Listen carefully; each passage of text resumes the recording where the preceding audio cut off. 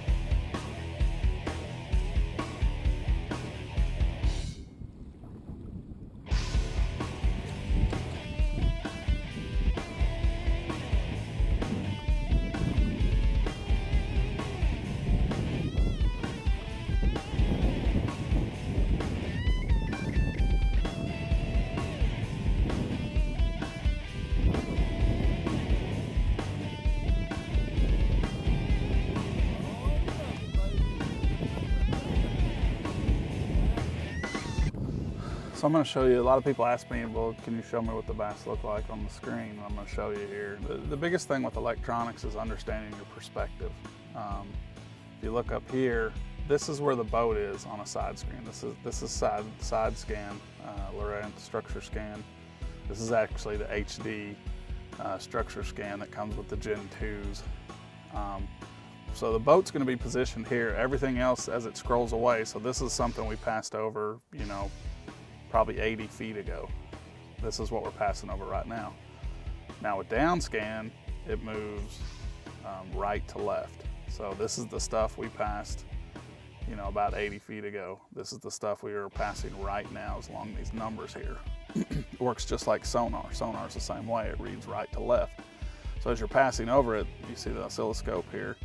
It, it draws what it's seeing as you're passing over it, and then it's then it just kind of scrolls off the screen as you pass new stuff. This older stuff just keeps scrolling left.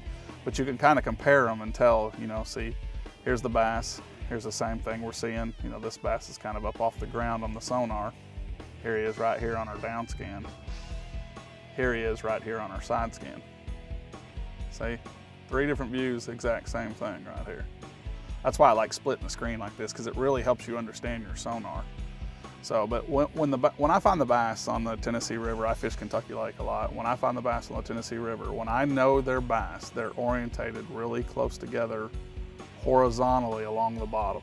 When they're stacked up really tall, I, I can show you some different screenshots and I'll try to capture those as we go. But usually when you see big bunches stacked up tall on the screen, that's usually other things like yellow bass, white bass, crappie. Those type of fish like to group up into big balls, big stacks.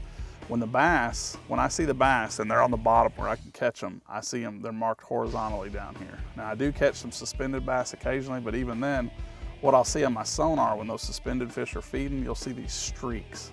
Because what you're doing is he's kind of underneath you and he's going like this, you know, chasing shad and stuff and they're zigzagging and you're continuously drawing them. So it, it, it usually makes lines when they're actively feeding up here suspended. So even then, you know, I'm still not looking for a big stack of fish just sitting there doing nothing. Those are generally inactive fish and that's not what I want.